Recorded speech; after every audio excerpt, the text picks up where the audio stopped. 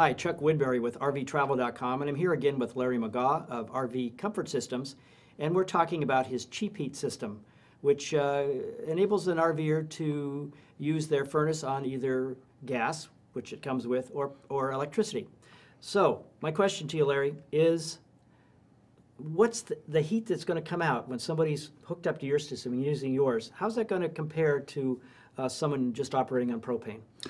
You're going to find that the temperatures are real closely related, uh, whether you're on gas or electric.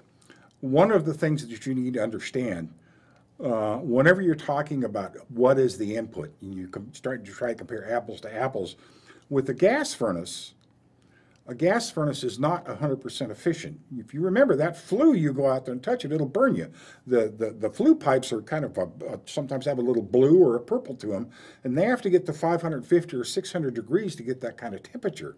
What that means is 40% of all the energy that's going into the gas furnace is going out through the flue.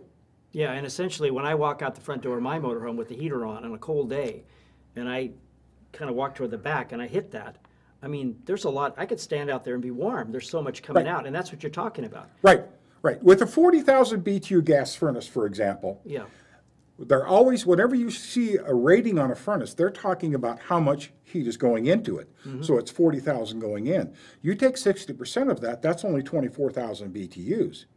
Now, a gas furnace, if you remember on yours, you notice how it has that kind of that time where it runs before it starts putting out Yeah. heat and after it runs out putting out heat? That's called the pre-purge and a post-purge cycle. 60 seconds in front and 90 seconds in back. So for every run cycle, you've got two and a half minutes worth of run time that you're actually not producing heat with the fire.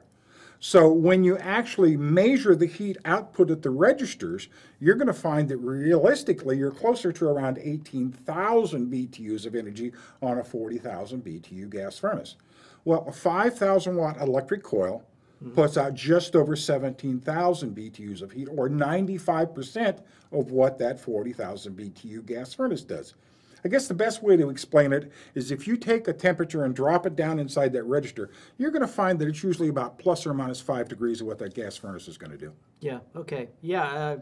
Uh, um, it makes sense that um, no. Let's just end it with what that's going to do, and I'll just say thank you. I, I forgot what I was going to say. Okay. You can go ahead when you're ready. Now, what do we, did you want to talk about? Um, I think we already talked about cost of operation. Um, we- Yes. We made. The, I'm just going to thank you for now. Okay. Okay. Um, well, thank you very much, Larry. Okay, you're welcome.